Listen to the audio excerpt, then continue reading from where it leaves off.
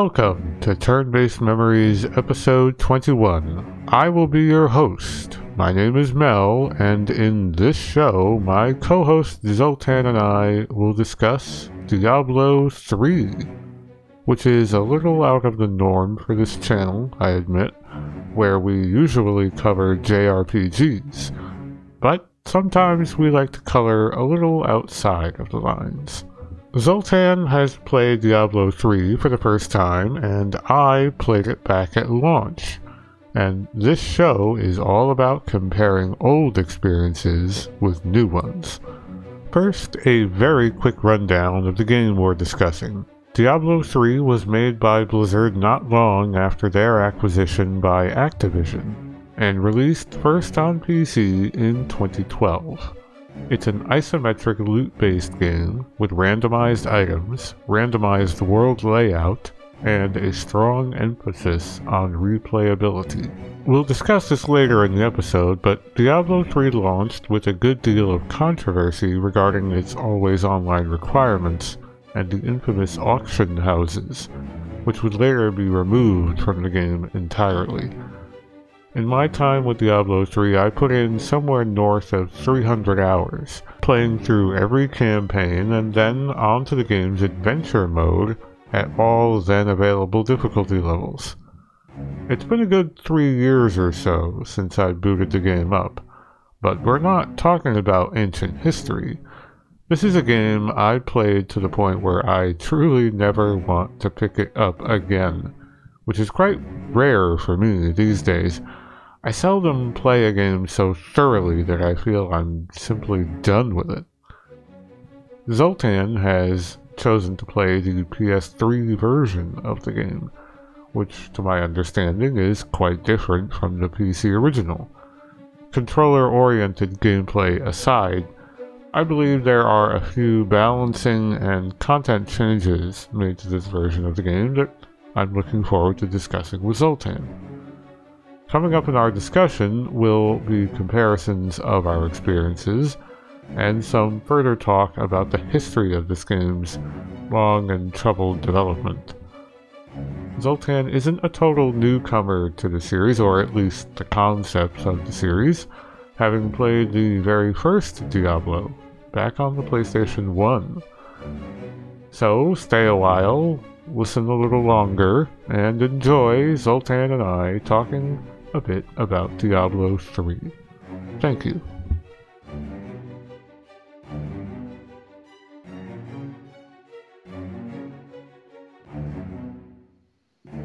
Hello and welcome to what we have just discovered is episode 21.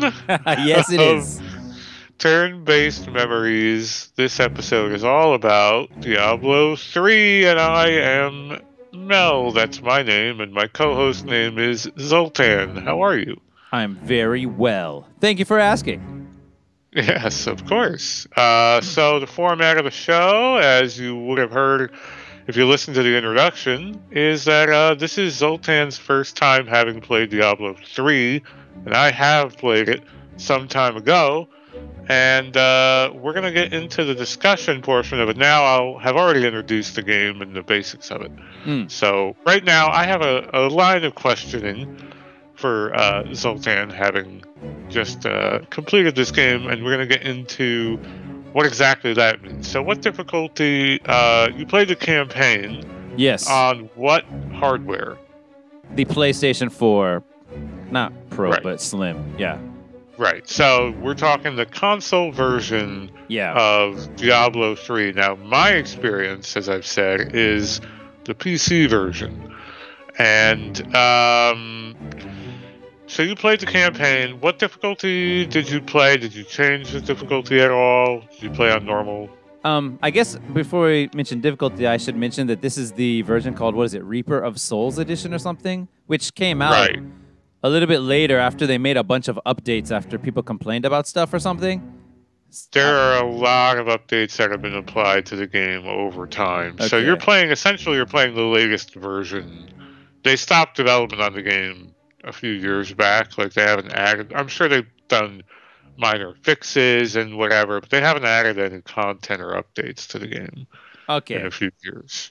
All right, and yeah, and I Uh, played on normal normal mode. I looked at hard mode, and it said in Mhm. the description that uh, it's for people who already players who already have some solid equipment, which means Right. you need to have already played the game once on normal mode, right? So I didn't touch that. Went straight just through on normal mode. I didn't check out any of the millions of different play styles available on the freaking main menu, like Mm. adventurer mode. I didn't even check them out. Sorry, adventurer mode, season, taking taking part in the season. Right. So there are is. seasons. Yeah. Yeah. Uh, no co-op either. I played completely solo. Hmm. Right.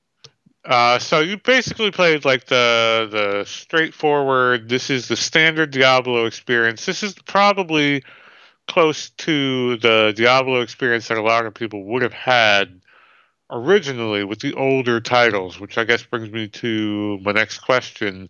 You have played what the original Diablo? I played Diablo One on PS One. I did not PS1. play Diablo Two though. So this experience in terms of the type of content you played should be fairly similar. You played the campaign on probably the baseline difficulty Normal. Yeah. start to finish. That's right. Right. Yeah, it was. Ba- it's. It reminded me completely of Diablo One. Like just Right. with a few, you know, with some extra systems added in, but overall, basically the exact same thing as what my feeling was. Got it. Now, for my own curiosity, I've never played the uh, console versions of this game. I was tempted to buy one of the versions of it only because it does play very differently from the PC version. You have like a dodge roll in this game for yourself, right? Yeah, you don't have that in PC. Nope, not even a little bit. The funny thing is, I never wanted to use the dodge roll, but yeah, Ah. it exists. Um, Got it. well, what? Is, So- why do you think that is? I don't know why they would do that then. they adapted it so I can't. You didn't have a dodge roll in the PS1 Diablo one, did you? No, it was like Right. an RPG and nothing else, basically. Right. Yeah. Yeah. So I think what they did for the console versions of this game is they tried to fit it more into the mold of modern console games where you have direct control over your character and away from the sort of point and click isometric PC game that it was based on and the Mm. PC version plays identically to the other PC entries in the series, where you click and your character walks from where they are to where you click. You don't Yeah. have direct control like with WASD or the arrow keys of your character at all. You point Oh. and click and tell them where to go. Okay. And then you right click on things or you directly left click on things and then you press different skill buttons to do whatever your skills are. Um, That's the and same. that is a Hmm. big challenge in the way you're because you can accidentally pass your character into an attack or like through fire on the ground and stuff like that and it becomes a challenge to make sure you're not like you know tunnel visioning and walking into an enemy attack or some big fire thing on the ground i've died many Hmm. times you want to know how many so times you have to I died? careful. Uh, I'm gonna say, did you die zero times? I died zero times, yo. This game Yeah. was unbelievably easy. Right. Which So yeah, if you started playing it, uh, or you told me you had started playing it, and then within like a couple days, you're like, I beat it, dude. And I was Yeah, like, not oh, a couple of days, but yeah, pretty quickly, yeah. pretty quickly, like I guess a week. Uh, so right, the normal difficulty in this game really is designed as like, I don't know, I guess the tutorial almost, where they're trying to introduce you to most of the systems in the game, and then it's up to the hard modes and on, and there are many difficulties. Yeah, there are a lot of difficulties, right?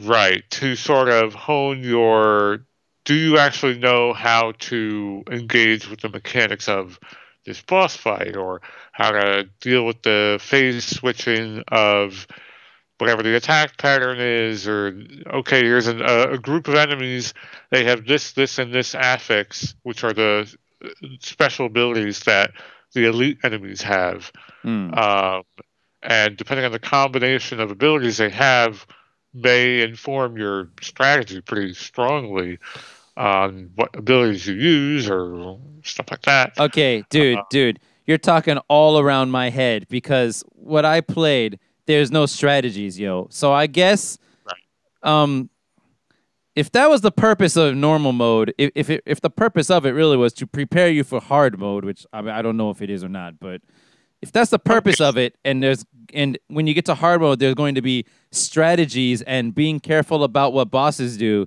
I'm not ready then, yo, because seriously, like the the perfect balance, the the game where the bal- I'm sorry, the part of the game where the balance was best, which is I guess probably the case in most games, is the very beginning, um, where you'd walk out into whatever the next dungeon or uh, aggressive area is, and you'd fight Uh-huh. and you'd start getting beaten down a little bit. You're like, oh god, what's gonna happen to me? Okay, I better go back one time and heal up or whatever. See if I can Sure. use some of this money to buy something better or whatever, or or whatever, and then go back out and see if I can go a little bit further. And that's how the entire experience of Diablo One was, all the way to the end. It's like you can only go in a little bit further than you did the previous time, and then you got to go back because you're getting hammered, you're running out of potions and stuff like that. Um, right. and yeah, and you want you're hoping that the guy that sells the good the good stuff sells really because the things in his shop are randomly generated. You're hoping there's going to be something amazing in there that you can take to go really far the next time. And but in this game, that feeling, that well, not just the feeling, that balance is over very early. Um, Uh, very early on normal pretty mode. quickly, huh? Yeah. So you, you felt like you were pretty much unbeatable. Completely um, unbeatable from before the halfway point, even. Okay, so would you say after Act One or Two, there was maybe still a little pushback from the enemies? Yeah, there was still some pushback from the enemies in the beginning of uh, Act Two. I'd I'd say, but Uh huh. it it like yeah, just me having to worry about dying when I move to a new area very quickly. Uh, somewhere during Act Two, quickly became just a thing of the past. I mean, You you played up to five, Act Five, right? whatever the final act was, I think it was five. Right. Yeah, Yeah. So sometime during right. Act so Two, that's though. the last one. Yeah. It Got it. happened. So um, I became literally hold the X button to win guy. like, now X was your primary attack, like your just melee Exactly. attack or whatever. I mean, I used So all what- I used all the other things in my uh, arsenal. I did. I didn't What just class use the X did you play? Yeah, I guess that's important, right? Um, Yeah. uh, the name of the archer. What's the name of the archer class in this game? Uh, the I should know this. Uh, the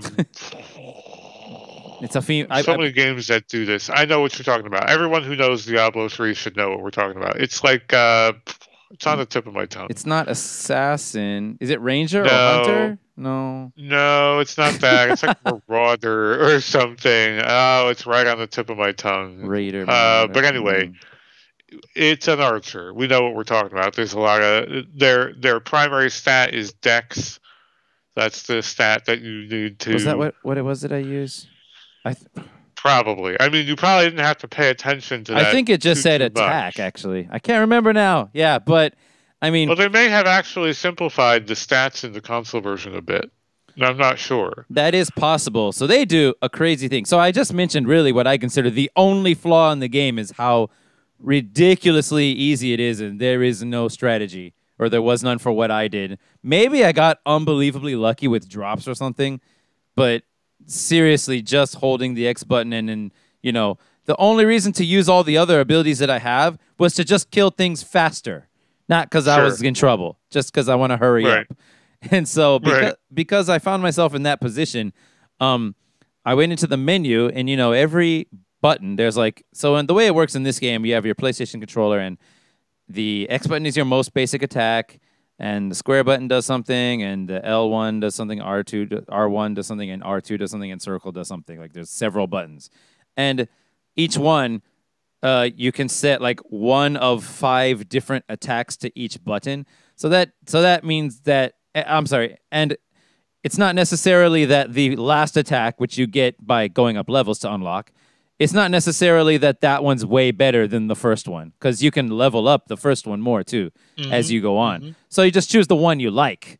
Um, so I tried them all out as I unlocked them. But in the end, uh, my favorites were a couple of the ones, a few of the ones that were pretty early, and I just centered all of my abilities on speed.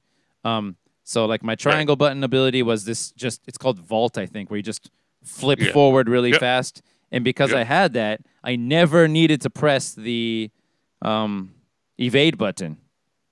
Got it. Yeah. Yeah. So you can kind of see how the evade is sort of additional. Like all of the characters in this game have a way of evading attacks or defending or somehow mitigating damage or healing or whatever to the point where a dodge with like invincibility frames isn't really necessary because I guess they didn't really balance the combat around it. Um, I know they did tweaks to some of the skills that the characters have, but that evade move that you have uh, is very much like a dodge. Hmm, so yeah, I can see why you wouldn't need to use the built-in dodge. Yeah, no, I used the vault move instead. Yeah, right. Yeah. Sorry, but you Um, asked me a question before I went into all that. Didn't you?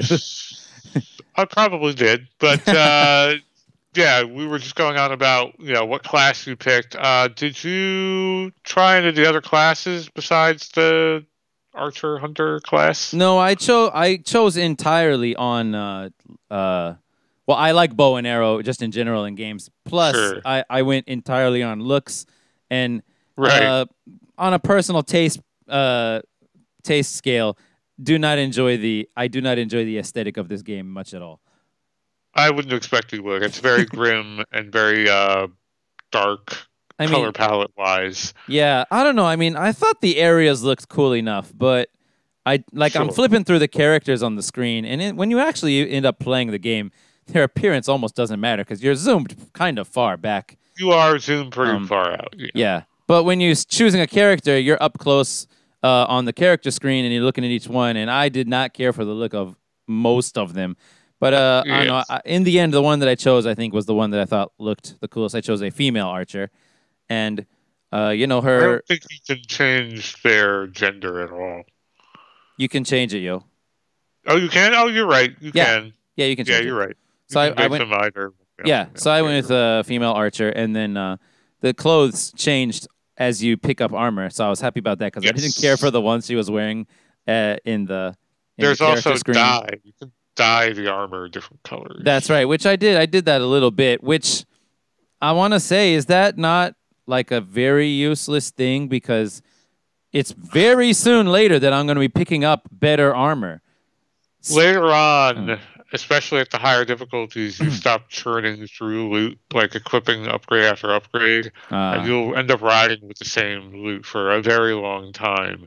then it's worth uh, it. Yeah. Then it's worth. Not only can you dye, but I don't know if you saw there's a. Uh, when you go into town, you have like a whole array of vendors that you can talk to, right? Yeah. and one of them uh, will let you change the appearance of your armor to look like other armor that you've picked up. Yeah, it's the same person who does the dyeing, I think. Right. Yeah. Yeah. So Yeah, I I, spent a lot of time. Yeah. I'm sure you did too. So I, spent did. a lot of time Uh. and my character's money transmogrifying is what it's called. Right. Uh, my armor to look like other armor that looks cool. Same here. I told I I did that one time too. I I changed all the colors and all the uh, the shape of all the pieces that I had. I'm like, yeah, now Yep. she looks awesome. And then very shortly after, I picked up a new one, and I thought it would retain the appearance or something, but it didn't. So No. so she looked All like crap after that again for the basically the whole game. But whatever. It- I mean, yeah, I guess it's for. So that that's a thing that this game, uh, I guess you know should have should have done differently. I guess is that.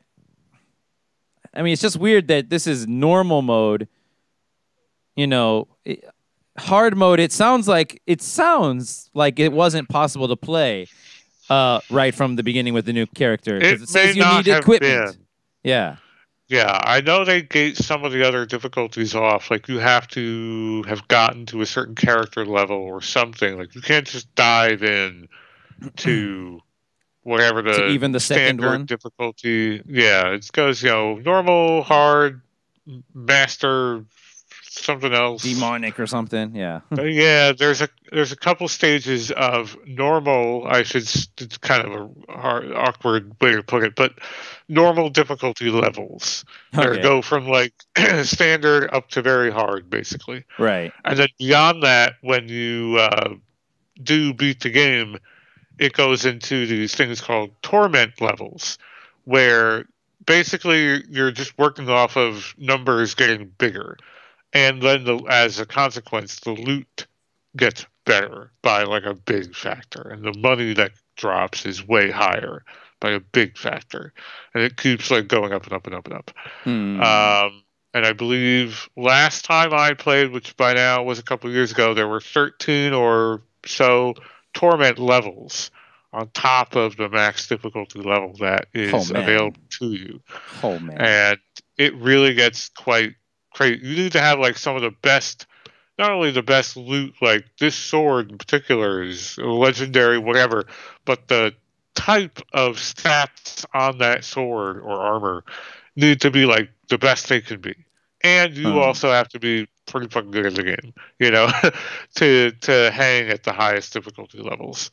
Um. Um, Are there also I I'm just wondering are there also uh like abilities uh on weapons that are only available on harder difficulties and stuff? Is that a thing too? Yeah, so certain Hmm. legendary weapons and uh, pieces of armor will change the way your skills behave to a certain degree, or they'll give you these potent effects around your character, or they affect certain things. Like when you block, this will happen. When you do a melee attack, that will happen. When you Hmm, do this skill, this will happen you know your your other skill will behave in a completely different way especially set bonuses which are you know getting every piece in a set of armor um, it could totally change the way you uh, use your moves because maybe it'll eliminate or virtually eliminate the mana cost or resource cost of that skill or it will make it so strong you only need to really do it once or twice something Hmm. like that uh, or it could more dramatically change just like the way it works. Oh wow. Uh, yeah, so it, it can it gets pretty dramatic in terms of uh, how that changes with the legendary items. Did you find any uh, legendary items at all? Dude, there were lots Probably of not, them, right? yo. No, there were lots Did of them. yo. oh my gosh! Okay, Yeah. wow. Legendary belt, legendary bow, and the last piece of uh, Nice. The last armor. I'm sorry, the last weapon I found was a legendary bow, which had uh, an ability on it that no other thing I had, uh, an ability I hadn't seen before, which was that I don't know if you know, but the archer has this machine gun type of arrow ability. Do you know about it? Yeah. Yeah. I do. So that I think it's maybe it's called multi shot or something, and um, Something like it it had just like plus two hundred fifty percent that damage, multi shot. Yes. I'm like, are you serious? My freaking machine gun arrow storm thing will be times 2.5 and like Yep. I, I obliterated everything after that. I mean, I was I was already no problem before that even. But then it's, But it's just it's like, like- But now it's just like I mean, seriously, literally. The final boss, yo. The final boss is the Uh, hardest boss, yeah, yeah. right? Is he not? Uh, it's supposed to be harder than the ones before it. Sure. Yeah. I Uh, mean, I wouldn't say the hardest in the game. Like, the hardest in the campaign though, right? sure, yeah, you're playing the campaign. It yeah, I don't know be- what goes beyond that, but yeah, in the campaign. Yeah. Literally didn't even try to run from his attacks. Just let him punch me in the face. And I and I just kept holding that freaking R2 button and he died pretty quick. Yeah. it was over in no Uh, time. that's a lot of that's very different from the way this game was when I played it. I played it at launch, and I, I played it for several years after. So I played all the way up to the latest content build and whatever. But by now, that's a, a few years ago. Um, my first legendary was not on normal mode. Tell you that much. huh. And I did die on normal mode. Probably not a lot, but in Act One, to the poison that the trees drop, those look like poison flowers. Yeah. Yeah, yeah, I know what you're talking about. That does kind of a lot of damage. It's kind of easy to like accidentally like go, "Oh, I stepped in it for too long" because it's it's very quick to take effect. That's the first thing that killed me, and the first legendary I got if I were to boot up my game, I still have it on my character, not on my character, but in my inventory. Yeah. Uh, and it was like a big deal back then. Hmm. Whenever you got any legendary, because they were so fucking rare. Oh, Uh, right. They should it be, I doesn't mean think. they were good though. Doesn't mean they were like good items, but they were like, oh, right. oh my god, like you actually got a legendary, I see. uh, that type of thing. It's not uh, like that on- in normal mode in the campaign now, at least. I, I got so many, yo. I believe they changed. Well, so uh, the uh, Or is it changed- is it possible that I'm making a mistake? Uh, you know, they all have the the color coat coating or whatever, um, like on their orange is legendary. picture. Yeah, it was. Yeah, I'm pretty sure I had quite Oh, a did. few orange ones. It only goes. It goes like white. Actually, goes gray, white, then blue, yellow, then Uh, Legendary. orange. Okay, yeah. So um, maybe I'm No, also thinking purple. of some yellow ones too. But I had a few Yeah. at least, a few for sure. yeah, the Legendary. yellow, the, the epic or whatever it's called, um, is those are what obviously what you're gonna get a lot of before you get legendaries. But back in the day, that was what your sets were made out of, and then eventually you would get some legendaries, and it was probably pretty hard to get a full set of legendaries. Although toward the end of it, I was able to, but again, mm-hmm. they made legendaries a lot more plentiful. And I'm Now- sure the drop rates mm. and things are very different on console. They did fine tune this game quite a bit on consoles. It's not exactly the same game. Hmm. Um, when you played a lot back then, did you always play online? I did. So the console, the sorry, the PC version is an always online game. Oh, that's right. So you you can't not play online, even if you're just playing by yourself. But I probably did put in a fair number of hours solo when I was like into the game, like big time. But toward the end of it, it was all an excuse to like hang out online with my friends. Like Hmm. it was like a vehicle for catching up with your friends basically because even when you are higher up on the difficulty levels there is a lot of just churning through enemies it's a little mindless and you're just kind of pulling the crank on the loot machine Mm-hmm. and seeing what pops out and you're doing these runs and then maybe you're cashing that all in to do like a really big challenge run essentially is sort of how it works. So the mode you didn't touch the adventure mode is you could think of it like a remix mode. You Yeah. start in any one of the towns that you were in. There's Yeah. five towns in it one town per act. And it doesn't really matter. What will happen is the game on your map will tell you go here do this so you warp there you kill the enemy you have to kill or you whatever it is. It tells you to do rescue the person whatever. Basically you're going somewhere and killing a bunch of shit. And then you do it and then you finish however many of those it tells you to do. You go back to town and you open up a big chest and a whole bunch of loot pops out. Mm-hmm. and one of the things you get when you do that is a resource that lets you enter special challenge things called Nephilim Rifts. And these are like uh, dungeons that you start from A and go to B, and there are a ton of enemies in there. There's no loot, and the enemies are really hard. Like the enemies Oh, don't wow. drop any loot.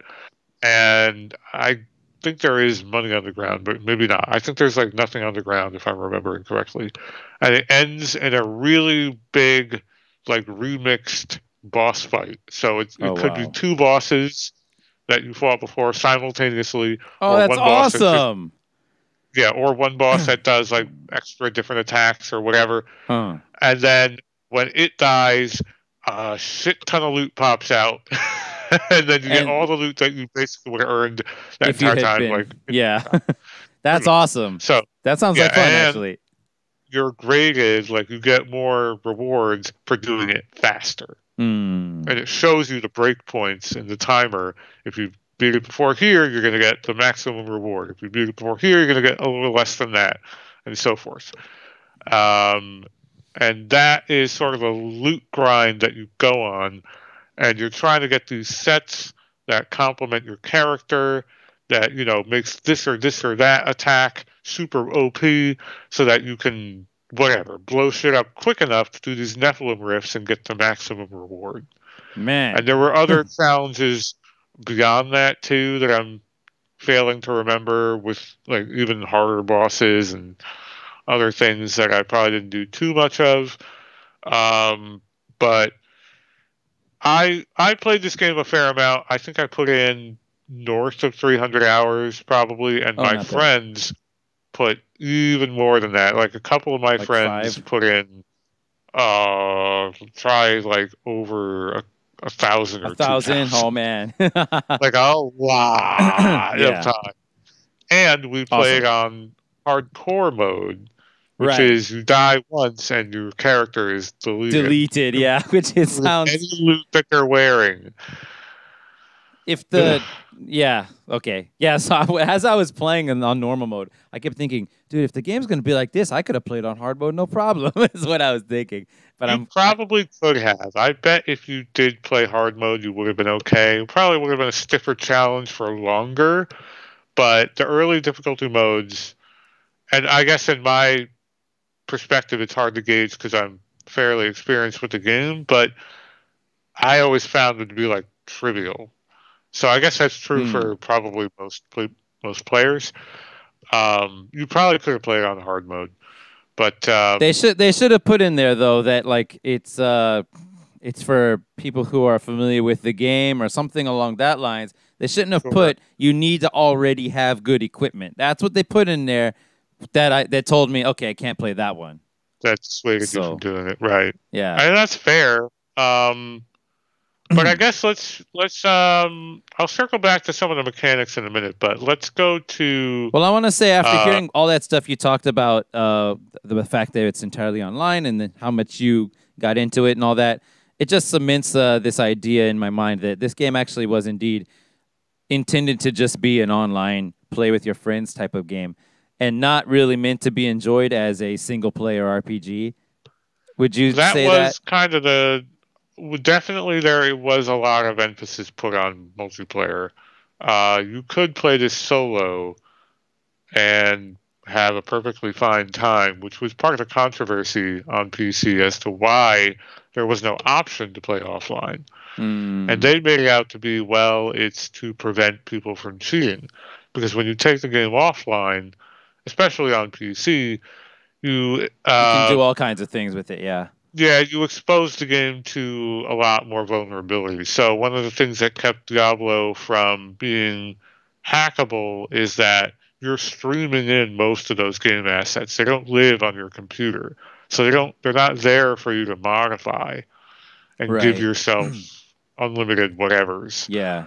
um, which people did a lot on Diablo 2, but Diablo 2 was, you know, multiplayer in the earliest possible sense of the word. But even if You know, But even if you did cheat and overpower yourself somehow, you can't What's kill other people in that game, can you? correct. So there's shouldn't have really. limited. Hmm. Sure, but I think it's the well. I guess that'll get. Oh, you know what? We'll circle back to that because that's part Okay. of what I want to talk about last. Um. the next part I want to transition into is what did you think about? I know you talked about uh, the the aesthetic of the world is not to your taste. Did you look at the lore or listen to the what the NPCs said? yeah. Um. I in the beginning I noticed that there was a lot of uh, optional dialogue uh, next to Sure, over there's everyone's lot, head. yeah. There's like an asterisk. Um, Right. If they have additional dialogue that's not Mhm. required, but uh, you know it's optional, and I thought that was a, a nice little uh, visual piece of feedback to let us know that you don't have to talk to them if you don't want to. But at the beginning, I was talking to everybody about everything just because I was curious, and I thought it was solid for sure. Um, you know, you watch the opening scene, and I'm like, okay, whoa, this freaking demon's gonna crush this girl or something. I can't remember exactly now. And I was happy to see that. I, at first, I thought that that was just a, a like gonna be two totally unrelated people to what I'm gonna do. It was like just like a hundred years ago, the demon was released, kind of thing. But actually, you meet Mhm. that person specifically, the both of those people specifically, that you saw in the opening cinema. So I was like, okay, that's cool. Yeah. So all this stuff was important to some degree.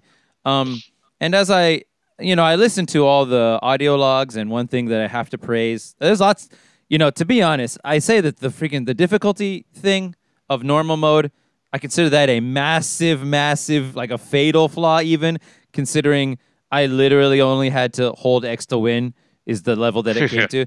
But it, aside from that one really, really large thing, all the little things are unbelievably solid. Like the the right way, done the right way.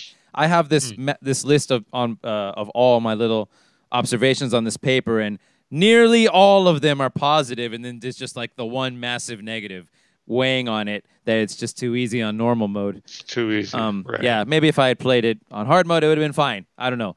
Um, but anyway, uh, so yeah, I listened to um, those audio logs, and I loved the fact that one, you pick them up, it adjusts the volume of the background music and the volume of the voice, so you can hear the voice perfectly. Also, it gives you experience points just to listen to it. Also, it can continue playing the audio even across loading screens. And I was like, dude, these guys made every correct decision when making this game. Um, you know, all the little things anyway. So yeah, I was listening to those and I kind of just viewed it as uh as just I want to say just a good excuse. I mean, that's kind right. of a, a do what you're derogative that's kind of a derogative term, but yeah, a good excuse to you know go and kill all these demons. Because in the end, it's just like we got to kill. I already forgot the name of the first demon, whatever the first the, the lady, the lady demon. You have to kill the first the Uh, lady lady demon, and then you kill her, and it's like okay, then we got to kill Azmodan. I'm like okay, Azmodan must be the final boss. Yeah, Killed uh-huh. him. Yeah, No, no, no. Then the one that's actually called Diablo is the final boss. Yeah. Okay, now you got to kill Diablo. So you know, it was cool. I was fine with it. Yeah, so I was kind of curious because I thought the story was really kind of cool around the edges, like the look of it. For me, I thought was really cool. I was really into it, but all the details I never could really get uh, invested in very much. Um, Oh, the human I, details, you the mean? one, the, The the, plot details, The story you know, details, yeah, like yeah. the the what and the why, never really grabbed me as much as just looking at the game and what it was doing and being like, oh, "This is some cool shit going on here." yeah. Uh, I said I didn't the like thing that the comes es- to mind Mm. for me is the the the angels.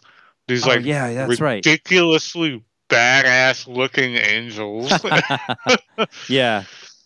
Yeah, I, I said that the aesthetic of those uh, characters didn't appeal to me at all, but uh, I did like the look of a lot of the dungeons, though. Sure. And yeah, I was I was on board for I was on board for the the heaven area as well. Yeah, that part got me. I really, I, I don't know, something about this like really like kind of badass looking Templar knight. Mm. magic angel thing.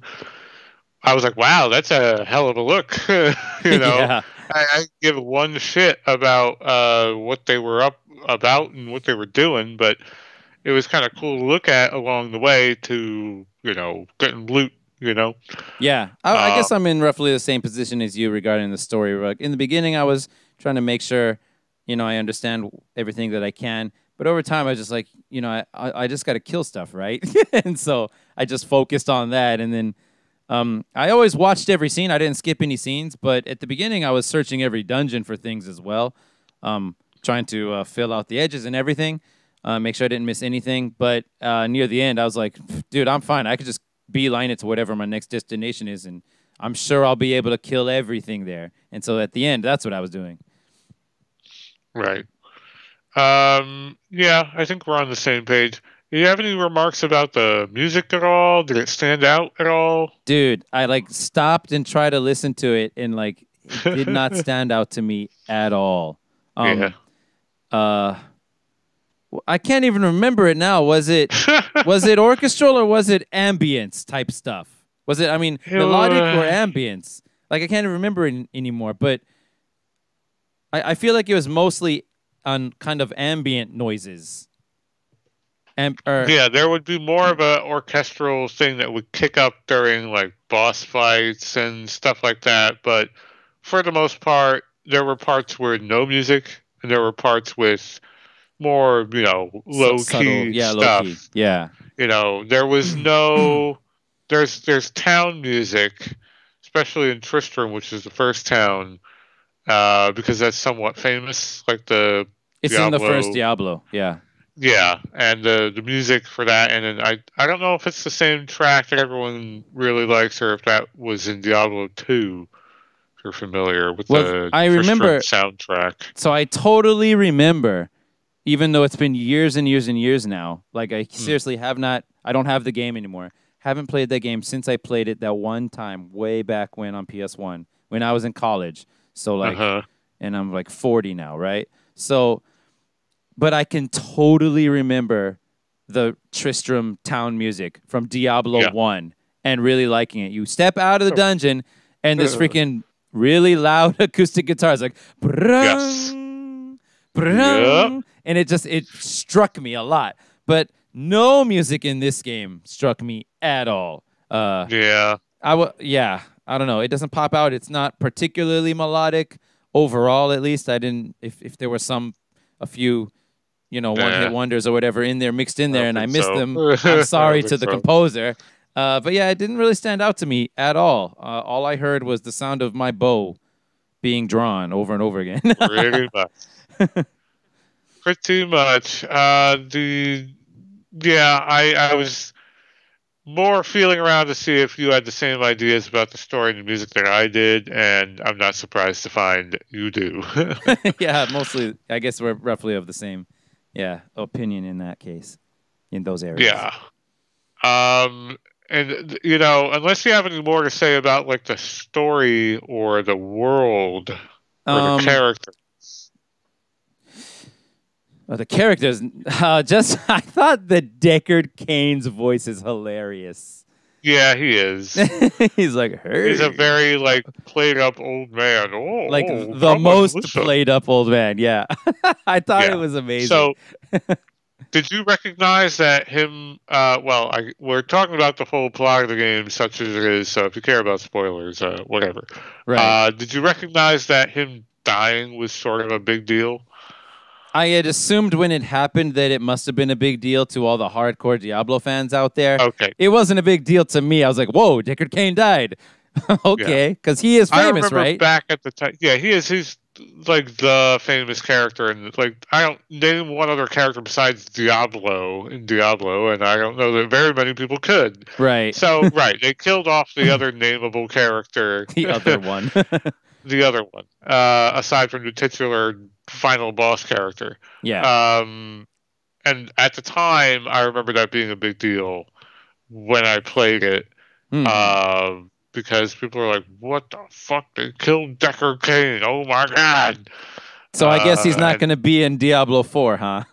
I would be a little surprised if he wasn't in some form. It's a Right. like you they have to probably bring him somehow, back somehow, right? Yeah. He'll become like a ghost. Who knows? Or maybe it'll be a prequel or something. or something. Yeah, who knows? I don't even know what the next Diablo is really going to be. Like, we'll see. But yeah. that kind of that, uh, unless you have anything else to talk about, that does transition me back to uh, the mechanics because we did talk about like the online component. Right. Okay. So before we go into that, I guess I do want to uh, go ahead and praise the, you know, not in, it's not in my type, but the overall aesthetic is pretty impressive. I would say. Um, I, I definitely do not care for the way the characters look, but it's just my opinion. I don't think they actually look Sure. uh, objectively bad in any way or anything.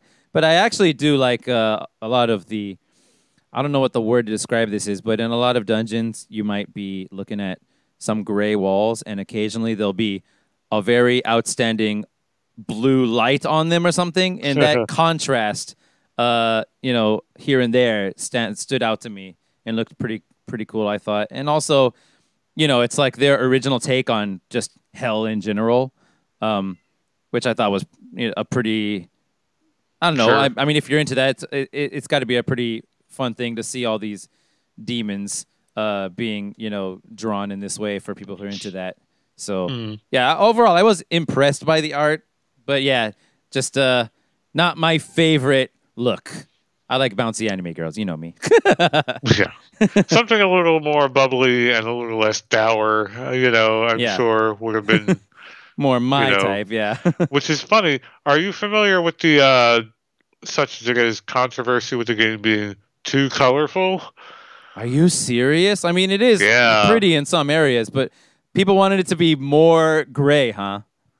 People were upset. So, uh, among the other, which we'll get to, controversies around the game's launch and the early development of the game, one of them was that the game looks too colorful to be a Diablo game.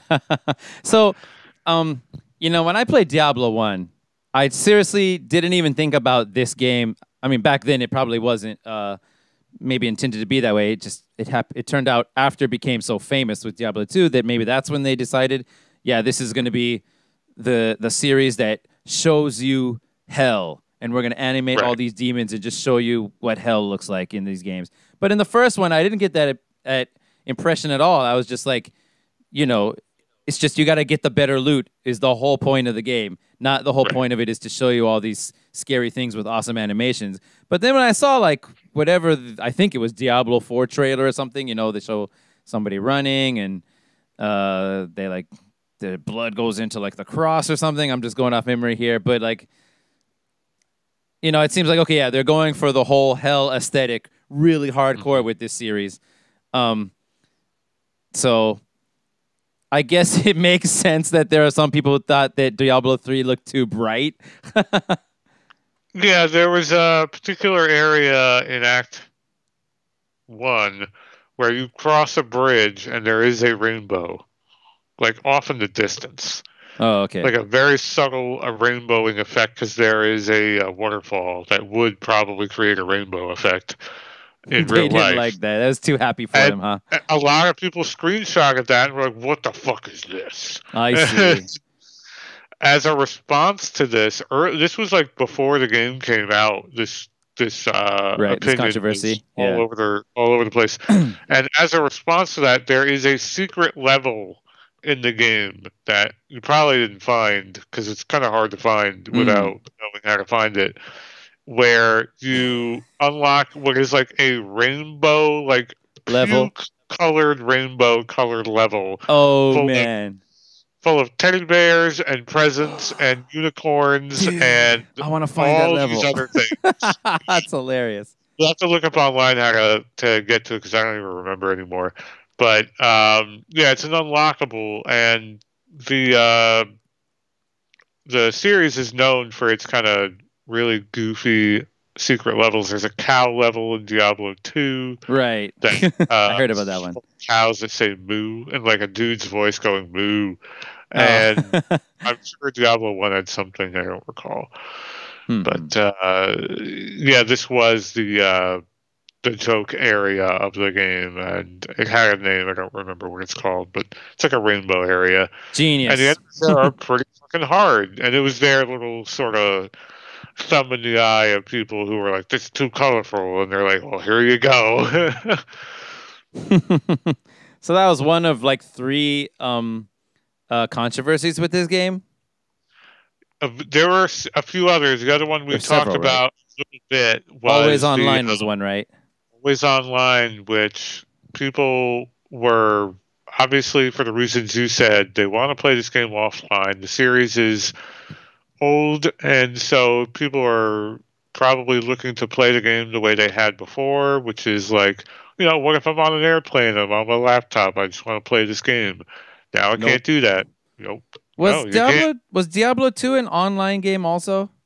You could play it online, but it, Hmm. it's not easy to do. Was it more But- famous just as a offline game then? Yes, because Okay. most games would have been back then. Oh, I guess so. It's Yeah, like the mid to late nineties. yeah, yeah. I guess you're right. Diablo. Um, now Diablo three, of uh, you know the the online was it was easy to sort of roll this controversy into. Well, this is just here for the benefit of the auction houses. Now, Ah. you familiar with what those are? You pay real money to get weapons, right? Right. Now, Yeah. there were two auction houses which they took offline, like they disabled them after a while. Mm. Was um, You could pay in-game currency, the gold that you earn, That sounds way better to me. to get right to post things to an auction house and Yeah. then uh, sell them or buy them, and you would bid on them. Right. And not just, but you could also pay a buy it now price to uh, skip bidding, or you could actually go into a bid war. And there was a real money auction house where you could pay actual fucking money for weapons right. in Diablo. yeah. Now, to my knowledge, none of my friends, maybe one of them did once, but to my knowledge, none of my friends have paid any real money in those auction houses. But they sure did do the in game auction house quite a bit. I did a little bit, but it was never fun. I never wanted to play Diablo 3, the auction house video game. You know, having to get into a bid war with someone was not my idea of fun. The prices on these on the really good items were just ridiculous. You had to grind out so much currency, ah. and the real thing that people were rightfully suspicious of is all the in-game drops suck because they're trying to Oh. incentivize you to pay potentially real money in the auction house to get the cool good loot. And once they took off, they shut down the auction houses a couple a year or two in after release. There was a noticeable uptick in the quality of loot, and They you saw you got quite a few legendaries just playing on normal once. Yep. yeah. Okay. So have happened before. that sounds like mystery solved to me. They did do that so that people to incentivize people to go use the auction houses. Then. Yeah, I think Hmm. that's very safe to say. Hmm. uh, that they did this, and you know, uh, to be uh, slightly fair, but not to say it's totally not true. Loot in games that are very loot dependent tend to start off really stingy, and then because they're afraid of wrecking the balance or having people beat the game too early or whatever, Yeah. and then games will often sort of become more generous with the loot as people complain or they realize it doesn't need to be so stingy. That's a common trend, whether there's an in-game way to buy the loot or not.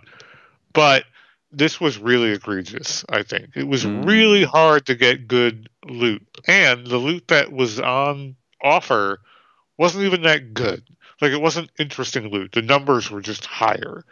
And it wouldn't be until much later versions of the game where legendary items had really cool effects on your skills or your character that really incentivized you to get them. And there were also a, a large increase in the number of different legendaries that you had.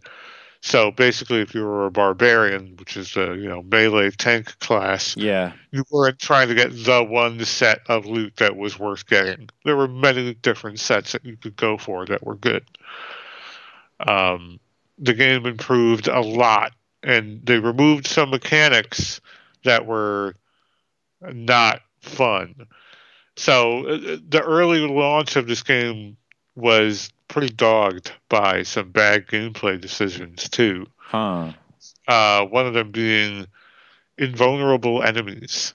One of the affixes that the enemies could uh, come with, you know, they would have affixes, which are special abilities that they have. Yeah. And sometimes they would launch like fireballs, or they'd shoot these little purple orbs at you, Hmm. or whatever. One of them was invulnerable minions.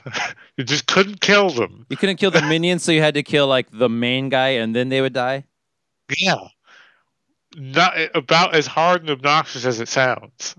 I guess so, but I mean, whatever. It's uh, I mean, there's the a person that really one of them hard. is vulnerable. So as long as you kill that one, that's the strategy, right? Sure, but when you're relying on killing things to survive, because either you get life when you kill stuff or just having enemies around you is too lethal to deal with, then them being invulnerable. Like what we ended up doing was, all right, you go and draw aggro on the invulnerable minions, run around in a circle. Hmm. while yeah, while the other team members do the real damage on the enemy. I've had to do that a couple times back then, and that's one of the enemy types they removed. The other one that Mm-hmm. they removed is uh, mechanic they removed is something called an enrage timer, where when you fight an enemy, an elite enemy, after a certain amount of time, they enrage and do a ridiculously large amount of damage. Basically, the idea was you have to beat these enemies fairly quickly, or you're not at the right level for this difficulty that you're trying to play on, so we're just going to kill you. Well, if the, But really like Mhm. enraged and then do crazy damage. well, if you think about it in that way, then I mean, it just it that means it actually gave you a chance to kill enemies that you weren't even supposed to be killing at the time. I would say, like, I would say that's better because the op the, one way to look at the- right because the alternative, if if the whole point of it is as you say, you're not really supposed to be here yet. That's what this means. Then the alternative is they just block you from going there or something, right? Sure, I guess uh, right, and that's one of the things they refined. So instead of using enrage, they had torment levels, which were not part of the original game. Hmm. Uh, they had I forget what it's called now, or what it was called, but there were like monster levels or something, and uh, it worked differently at the end game level where the game was like super duper hard, and it was much harder than it is now, uh, for various reasons, including one of them just being the loot was bad. it was hard to get good loot. And it was also hard to determine what was good loot because the stats were totally different. One of the major Hmm. differences of this game was you had core stats that you had to look at and do some light math, like mental math on to determine if it was an upgrade or not. Now, when you have an, an item, a new item, it just shows you, yes, this is an upgrade. No, it's not. Which I is see. great. Like that's not a bad thing Yeah, but I think remember there- before there- having to like look at loot and go like, is this better than what? Uh, what? And that Hmm. totally obnoxious process. Yeah. Um, one thing that I want to say would make that a lot easier is if they could keep the numbers down because the scale gets really high. It Um, does. I think by the, the end of just normal mode, I had like 10,000 either armor or attack. I can't remember which one. So Sure. that's crazy, right? Or maybe it's just 1,000. But like, it, I feel like the, the numbers were getting kind of crazy. Um, well, really high is just what I mean. Um, and so, you know, the higher the numbers get, the harder it is to like calculate whether something is a uh, stronger or weaker. But they do this crazy thing for you. Um, at least I think that's uh, it's doing what I think it's doing. You know, you you might get draw uh, find a weapon that is a little bit lower attack than what you currently have, but then it says like plus plus five percent to critical hit chance, and even though the attack is less, it still says it shows like there's an up green arrow pointing up to say it's better. Yeah. I think this Yeah. game is actually freaking taking in all possible is. damage damage uh, that can be done and calculating what the DPS is on average and comparing them that way, which is Yes. a great, amazing thing. I think. Yeah, that's one of the improvements they made where you would have to previously look at all of those things in aggregate Yeah. and go like, okay, the attack is lower, but the crit is higher, and crit's really good. It's one of the best stats you can look at, and so is attack speed. And so I Hmm. remember having to ask one of my other friends who was like played the game a lot more than I did, and I'd be like, "Hey, these gloves are these like good gloves?" And he'd be like, "Yeah, no, yeah, those are really good. You should wear those." I'm like, "This is dumb. Why am I asking someone who's played this game a lot? I should be able to tell for my damn self if they're good gloves." And that's Hmm. one of the things they did was there's like a baseline like summary stat like damage, defense, yeah. whatever. Yes. Yes. and that goes up if the evaluation on all the underlying stats are better, Yeah. like in, in the in- whatever on sort average. of- Yeah. correct.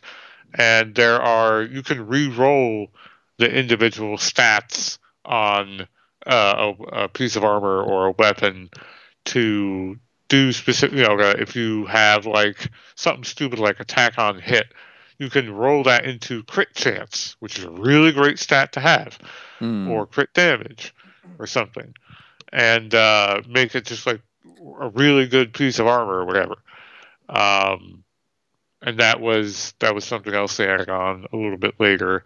Mhm. Uh, but yeah, this game went under a lot of intensive changes. I think it's actually goes down, in my opinion, as one of the best recoveries of a game Oh yeah. because Hmm. it really was pretty disappointing out the gate Uh, uh, for a number of reasons. And they took down the auction houses, they rehabilitated the loot system.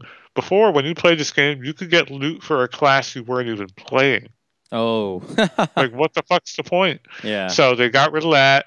They got rid of these like other things around the edges, like uh, uh, uh, weapon. Um, uh, what's the word?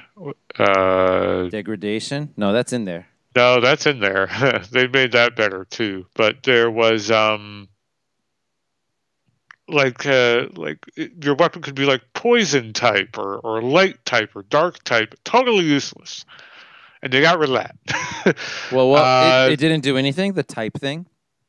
it was supposed to add that type of da- element. Yeah, It was supposed to add that element to your attack, but it but didn't. they changed it Hmm. in a way that it just well, I mean later on there are weapons that do this type of thing, but it was never prominent enough in the damage calculus. It was totally something you could ignore. So they got I rid of it. Yeah. You Oh, know, that's it wasn't yeah. part of what, what was making the loot interesting to to go after. It was kind of a vestigial thing.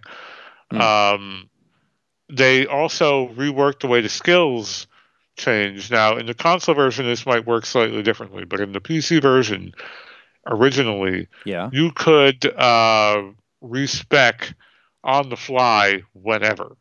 Um, let me think. Like, let's say you're running I around out in the battlefield, you Uh. could hot swap your skills in and out.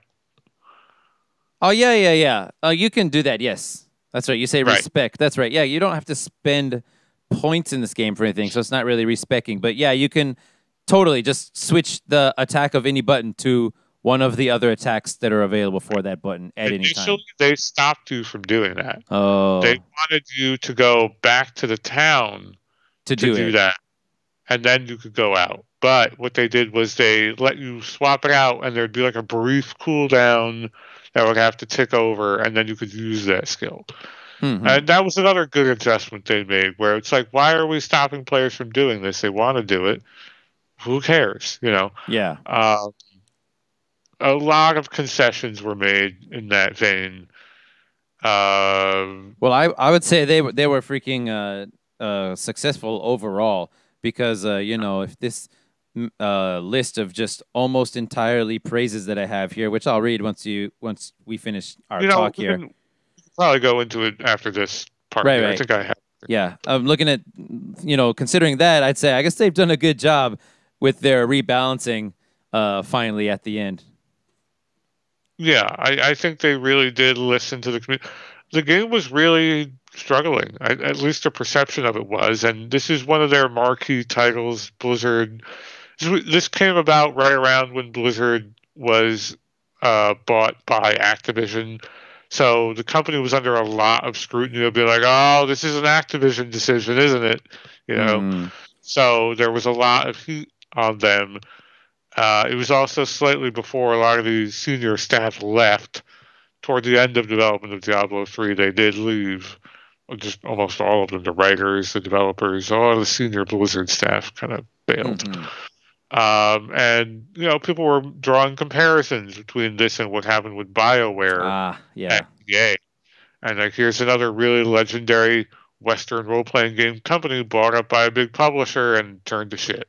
Right. And I think the same is probably true of Blizzard to a different extent. And it took a lot longer than BioWare. But Diablo 4, you know, I'm kind of looking at it like side like side eye, like are they gonna what are they gonna, do mess it here?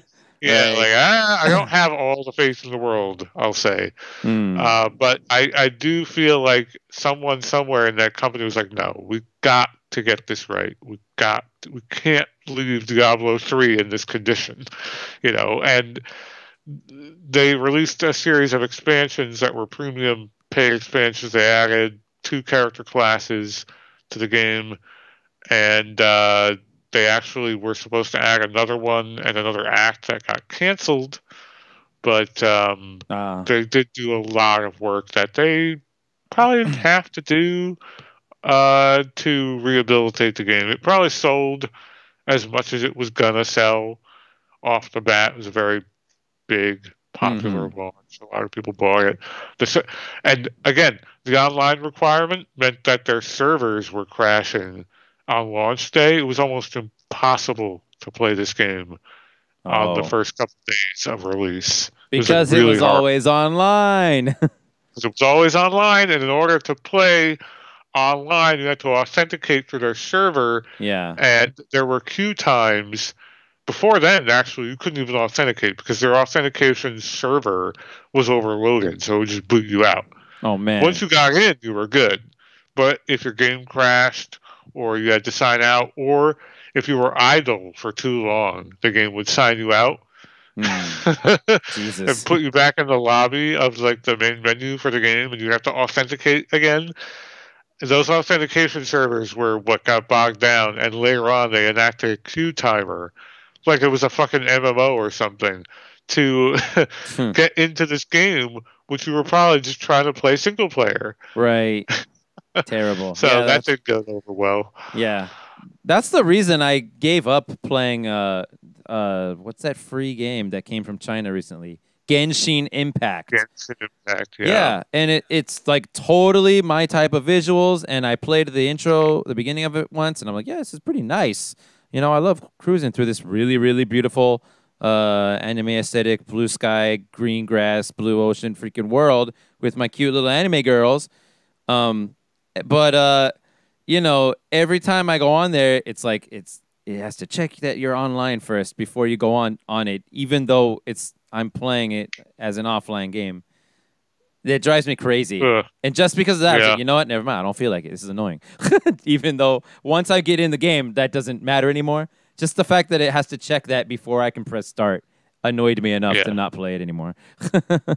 Right. And then you can imagine that all the people who swallowed the pill of, well, it has to be online to prevent cheating, were then, you know, had to eat their own hats because they turned around and made it offline for the console versions. Yeah. you know, right. that probably didn't help. Indeed.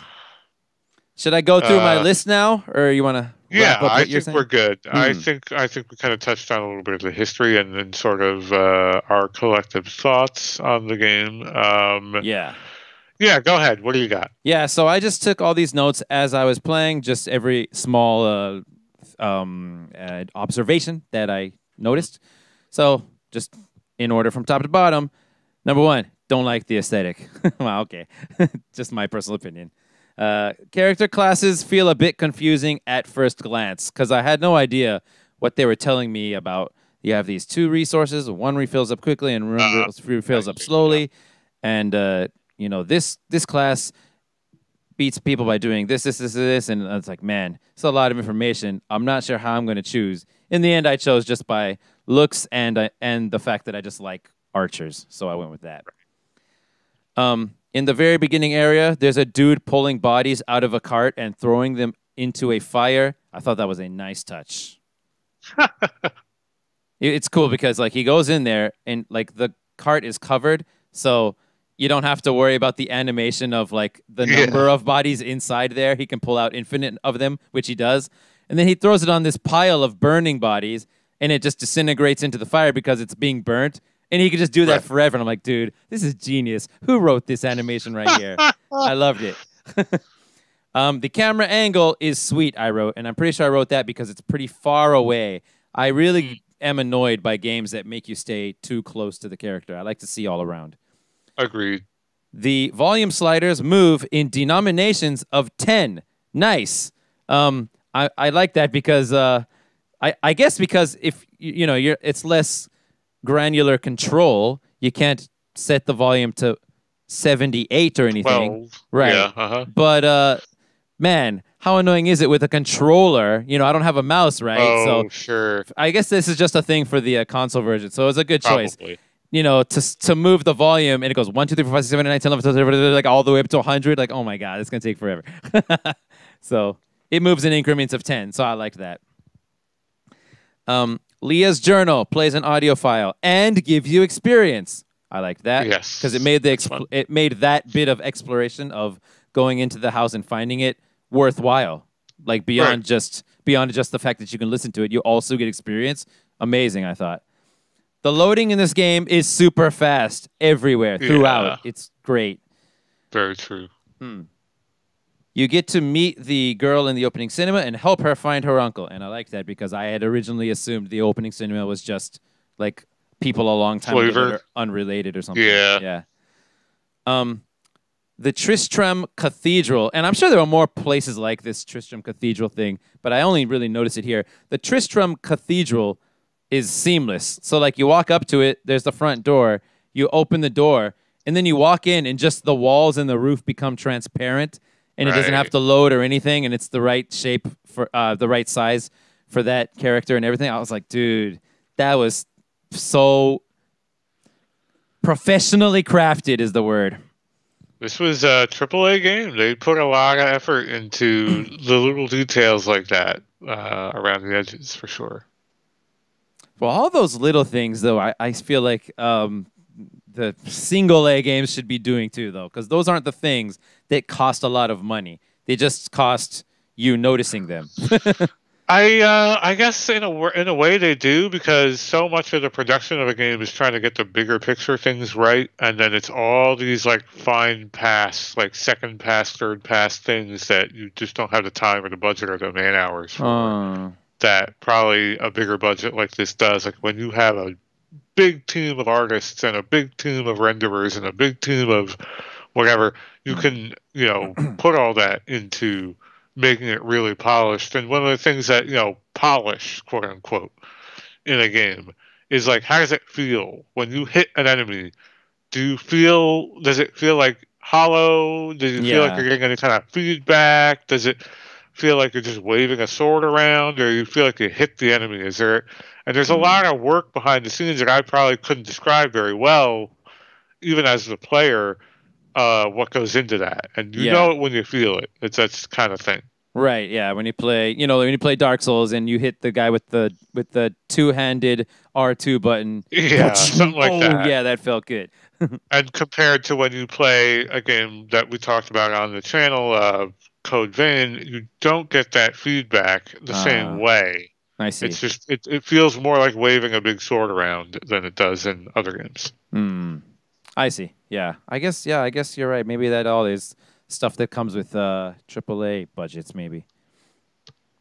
Um, you can see yourself through object objects. So, for example, if you walk behind a pillar, then you're behind the pillar, but you can see your outline through the Right. pillar. Another thing that they had time to do, and I like that. um, I want to kill every enemy with chandeliers. So I liked the whole trap thing. Um, Yeah. In the beginning, definitely, uh, I, I was constantly thinking about: is there going to be a trap that I can that I can use and kill the most number of enemies as possible with?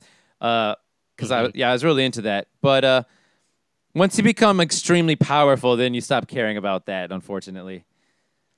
True, true. The character detail screen is freaking great. Shows DPS with all variables considered. Armor shows the exact amount of damage you are mitigating. Awesome. Mm-hmm. Deckard's Cain voice. Deckard Cain's voice is genius. I wrote that. His voice is so over the top. The shopping is sweet right off the bat. Yeah, in the beginning it's very sweet. Uh, it becomes less sweet as you become more powerful, though. Again, at I least on, suppose so. on normal mode. Yeah. Yeah, I, toward the end of it, when you start getting up in like the later difficulties, you're you're never buying anything. In fact, you're probably never even doing anything with those vendors. You might sell a few things, but gold in the end of the game, uh, post auction house once they remove the auction houses, Hmm. totally useless. Like Oh, gold, really? yeah, Hmm. you just have no need for it. It's a they try to make it somewhat relevant by having durability on your weapons. You gotta repair them, Yeah. but and it costs gold. But and no, It's- you yeah. really don't. it was basically a non-issue. Uh, the the item de- degradation thing, like, you know, it goes down and down and down, and then eventually I just go back and fix it, and like there was no Yep. problem. It, it it never broke permanently or, or anything, right? You can always fix it, right? Yeah, and you could just all you have to do is go up to the blacksmith, hit one button, you repair everything, you're done. Yeah, exactly. Yeah, It's like, So- what am I? Why am I doing this? exactly. There's a lot of games, you know. Arm. Oh, I was gonna say, you know, Dragon's Crown has that, and it's e- equally pointless. But actually, that item degradation, fixing it is indeed instant. So it seems like, well, why am I doing this? But no, um, item degradation uh, matters for the number of stages you can clear in uh, without returning back to town. And in that game, Hmm. because in case you didn't know, that game is a lot like Diablo. Um, it's just it's beat 'em up instead of just press Right. the button to win. and um, uh, yeah, in that game, if you go to the next stage without returning to town, you get a bonus to gold or the the quality of treasures or experience points Gotcha. in the next one, and it goes up, up, up, up more and more with every uh, consecutive stage that you complete without going back. And one thing that might be a thing, like you might be having no problem getting through the battles, uh, getting through the levels without dying much or anything. But if your if your equipment's about to break, then you then you have to go back and fix it, right? So, yeah. So I guess Right. they, I guess you could say Dragon's Crown did item degradation better. yeah. Um, where am I? The shopping straight off the bat. They oh yeah, the dudes, the vendors buy back at the same price that you sold it to them. Nice. Yeah, like- that's the oopsie button. That's the what? Oopsie, I sold. that's the oops button. Right, the oops button. Yeah, You that's fine. accidentally sold something, you can buy it back. Yeah, You're like, oops. The buyback menu is separate from the normal sale inventory. I think that's good. Yeah. Uh, there is a star next to any newly acquired equipment in the menu. I think that's amazing. They did not have to do that, and they totally did. Atta- attacks lock on, and the lock on is easily visible. Positive. The fog of war regenerates sometimes. I don't like that. I put a minus for that. Why? Occasionally, when I go back to a previously visited area, the fog of war was back, and I have to unlock it again if I want to see the whole area. I don't know why that is. I don't like that though. yeah, that, so what's happening in this game, if you recall Diablo 1, is it's it's a randomized map. But So- once you enter it, it's not. It stays as it was. Sometimes, if you re- reload the area, it re randomizes. But okay. not so much every time that you can tell. It's one of my it's one of the earlier disappointments of the game that they never really addressed is Diablo 2 the maps were quite randomized. Like it Mm. really within with some exception to all the maps were pretty random. And the same is true of um of Diablo 3, but it's way more rigid like uh, having in my hours and granted i played a lot of diablo 3 i almost always knew where to go because it's like oh it's this map you know Ah. or oh it's like this uh, the exit's going to be somewhere over here or something with you know some maps were more randomized or just so big you couldn't do it like that with but the tile sets that they that the game would use to render the randomness were pretty limited, like almost to the point where it's like, why are they bothering? I I'm see. Not even sure. I don't think Diablo One uh, would randomize anything after you cleared it. Because if I'm going off the memory Mhm. correctly, you'd go into them and you know I guess they were randomly generated, and then you'd kill all the skeletons in there and stuff. And when you pass through there um, on uh, later, I'm pretty sure the whole thing is uncovered still, and all the skeletons are still lie on the ground where they were slain by you. Like it keeps that saved, if I remember correctly. That might be true. I haven't actually played Diablo one. I played Diablo two for uh, enough to know Hmm. the the game. It's uh, you know something we didn't really touch on is that Diablo three. The we we mentioned respecking, but for the points for your characters like abilities, um, not the abilities, the stats, Yeah. uh, such as they are in Diablo 3, you can freely reass- reassign those. It's like you're not locked into almost anything at any time. Right. Um, and in Diablo 2 and, and 1, I'm pretty sure, you were pretty much locked in. Ah. And the stats that you were picking were more, way more granular. Like you were picking individual points. I can't even for- remember. Yeah, what exactly like like assigning points to anything in Diablo One. I only remember the equipment grind. Yeah, in Diablo 2 for sure, you were picking like HP and dexterity and this and this and this little points that you were Mm. upgrading with every level. And once you locked those in, I believe there was a respec mechanic that was probably fairly expensive, but there was no way to freely reassign those choices. Oh. Um, and that they did away with is, I think, a smart move in Diablo 3. But uh, I guess we've kind of gotten to this point. I'll mention it at the end, but uh, the obvious sort of successor to Diablo 3 is actually Path of Exile, what? which is a game. Not what? Do you, that- why? Why is that? That's not made by Blizzard, is it? It's not, but it's the game where everyone moved over to. Whoever was like a hardcore Diablo 3 or Diablo 2 player is now playing Path of Exile. Hmm. Interesting. and so the friends of mine who put all those hours into Diablo 3, they're playing Path. It's like to this day, they're still playing. Oh game. man, awesome. um, tons of equipment slots. That was a positive because you know it's a freaking Yes. loot game. There should be lots of things to get then. So that was cool. Mhm. Um, throwing stars go down to the correct elevation. This uh, was on freaking mind blow to me, dude. If you're standing on top of a staircase and a bunch of dudes are um are down at the bottom of the staircase, what normally happens when you throw your throwing stars as the uh, hunter? Was she a hunter? Was that the class? I, I want to say that was the name You're of the class. probably correct. I maybe. Anyway, I if, refuse to look it up at this point. anyway, if you're playing that archer character and you use her throwing star ability, it just goes out into the crowd, straight ahead of you, right? But if you throw it and if you throw it out, it always it goes it follows down the stairs. And if it's gonna go upstairs, it'll go upstairs too, dude. Like it just stays at the Right. correct elevation to hit all the enemies that would be in your path if the ground was flat. Freaking genius. I can't believe they did that. dude. Yeah. That's amazing. It's it's pretty cool. Yeah. Um, lots of destructible items in the environment. I like that. Yeah, it's fun. It's fun. Totally. And you get bonuses for destroy. You get speed bonus for destroying them. Yeah, So- you do. So there's actually a way to like take advantage of that. Yeah. Once you really get rolling in this game, you can break a bunch of shit. Uh, early on, it's funny. Before they patched it out, there was a early area that you could grind throughout the game. They had just a shit ton of pots everywhere. It was like one of the underground crypts where there's just like little pots and breakable shit everywhere. Hmm. And early on in the game, you can because loot can usually it's money that drops out of those things, Yeah. but loot can drop out like a little weapon or whatever. And they shared the same loot table originally as monsters, just way lower.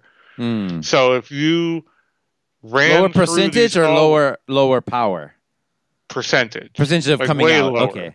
yeah, all the loot, whatever the loot table was, like X percent to drop regular, X percent to drop legendary. Oh, they could man. drop legendaries. And there were so tons what of people would do is they would just yeah, people would just go in from A to B in this one little area that had a shit ton of pots in it. Just break all the pots and then reset the room and break them all. Genius. and they they actually patched out that the pots can't drop legendaries anymore. Yeah, getting up, getting a legendary from a freaking pot would be amazing. I got my first legendary was in a tree stump. oh, whoa. Yeah, Um. Okay. Uh. The L1 potion is infinite. I thought this was a very interesting mechanic to Hmm. change because in the original Diablo, you had I think it was the L button was for life, which makes sense because it's the L button, and the R one was for mana potions. Yeah. And uh, you could you what you had to do finite is potions. Yeah, you had to go back and buy them, and you ran out of potions. You ran out. But the thing was, dude, one, you instantly consume them upon pressing the button. Two, your dude never gets tired of drinking them. And three, you don't have to Yeah. like stop fighting to do it e- either. So like Yeah. back then I was like, are you serious? It's an insta heal. That's crazy, right? And uh but somehow, at least going off memory, somehow they pulled it off in Diablo 1 where they can overwhelm you faster than you can be ready to press lots of healing potions, right? But Yeah. you could buy as many as you want, or as many as you can hold. Anyway, there was a Oh, limit. Yeah. But so now they've done this really interesting thing where now that post can be used infinitely, but you don't you don't have to buy more or anything. Instead, you just have to wait for the cooldown timer Mm, to finish. So it's like a one-time save from a dangerous situation that you, you're not going to die and you can go back and uh, I guess uh, go back to town if you think you're in trouble. I only pushed it like three times in the whole game in my in my ex- experience, and uh, one of the times was an accident. nice. so uh, yeah, They changed that midway through um, this game, where you did have finite numbers of uh, bottles that you could equip, Hmm. and they they did rework that. There were also scrolls, like teleport scrolls and identify scrolls in the older Diablo games that you had to buy and carry. Mm, mm, oh yeah, there, that's right. That's right. Um, portal yeah. town portal is now also infinite, Mhm. huh? That, I think It's that's better for sure. And there's no more scroll of identify, which is silly. Like I don't know why they did that, but But then now I Uh, kind of feel like, do we even really need to identify? Th- I guess just to make you think that it's going to be an amazing thing. special. Yeah, they they Yeah. made a comment on that. Like, why are we still having you identify things if there's no mechanic to it? And they're Right. like, You it's just just, push the button. fun. Yeah, they're Yeah, just like, yeah, it's fun. It's it- like it- unwrapping a present. Indeed, yeah. It, it's not a, a flaw for sure. You can't say it's objectively a flaw, but uh, Yeah. um, yeah. I just thought it was weird that like I can just freaking identify this. Like really, like anytime. Yeah. Just hit the square button Were- and it works. Okay. Were you um? There's a tome of identify all in the in the town. I don't know if it's there in the campaign normally. okay. What But- happens if you get that? Well, it's it's no, it's just a fixture of the towns. Every town has this. uh I think it's supposed to be like Deckard Cain's like tome or whatever Okay. the fuck, Yeah. and you go up to it and it just identifies any unidentified items in your inventory, all at once. Like boop. Oh, if you have a lot of them or something. Yeah. Yeah, because toward the end, that's all you're picking up are Oh, yellows and legendaries. So you would be like boop, boop, boop like uh, all it would take forever. Yeah, right. I see what you're saying. Okay.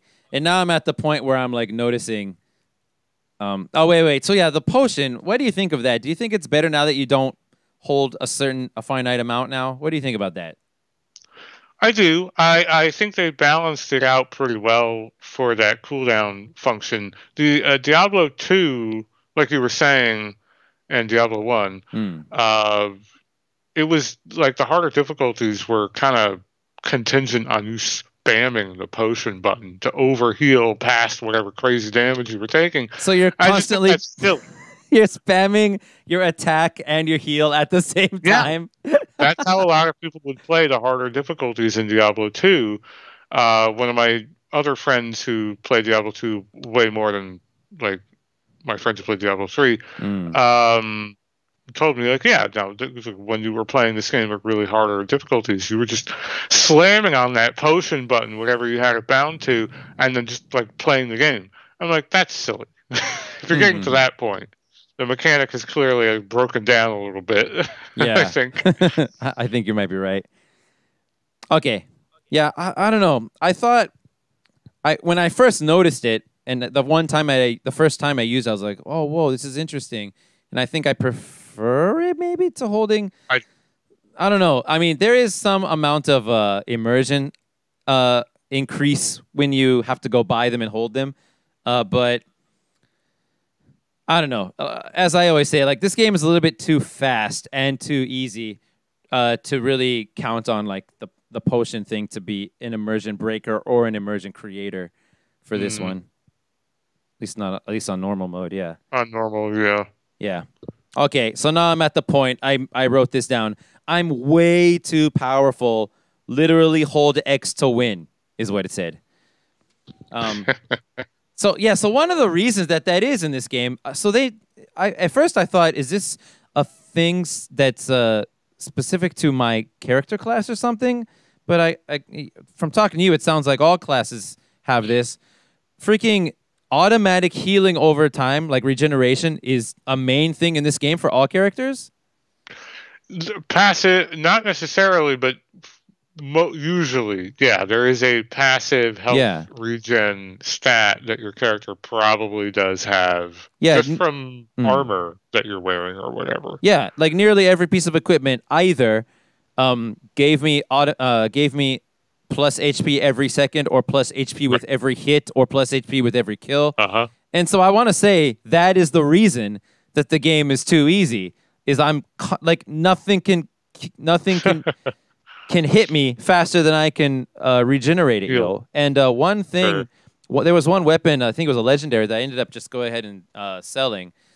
That uh, that I got that I ended up not using because it wasn't as crazy powerful as the one that I was using, and I didn't really need any more healing. But like I kept getting like plus a couple hundred HP per second or per hit, and then I got one weapon that was like plus two thousand per second or something, and I'm like Jesus Christ, man! But because I I didn't need it, I didn't need to sacrifice my damage to to use that one. I just went ahead and sold it. But I was blown away just seeing the number. like Jesus. Yeah. So and There's so a lot of crazy numbers. right, and so it's because of that mechanic specifically that I want to say, at least on normal mode, that the game has no strategy. There's no like like I guess when you get to the harder harder modes, are you supposed to actually run around and try to avoid the attacks? Is that what you're supposed to do? You can't just Oh, yeah. spam attack and destroy everybody. No. Okay, yeah. So that No way. Yeah. So that's a yeah, problem with normal mode, I guess. uh, you have to actually avoid if there's any, especially if there's like a static like thing that an enemy places on the ground that does damage, whether it's the molten stuff or the dude. I just stood beams. inside of those. yeah, no way. It, Yeah. you would get evaporated. Like to, unless you were a tank class, because that's how I played.